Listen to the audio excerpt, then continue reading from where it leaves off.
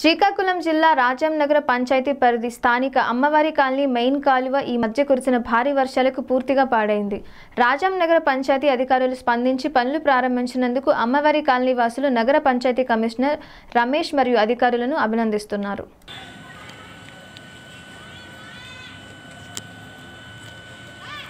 పని కదా ఇదే. ఆ రోడ్డు కడితే పర్వాలేదు. అందుకోసం ఇంకా ఆడ ఒక మూడు వేలు ఇచ్చాడు కదా లారీ ఓడు. ఆడు ఈ రోడ్డు కట్టి కాలు కట్టారు కట్టేస్తావు? అప్పుడు పని మరి పర్వాలేదు.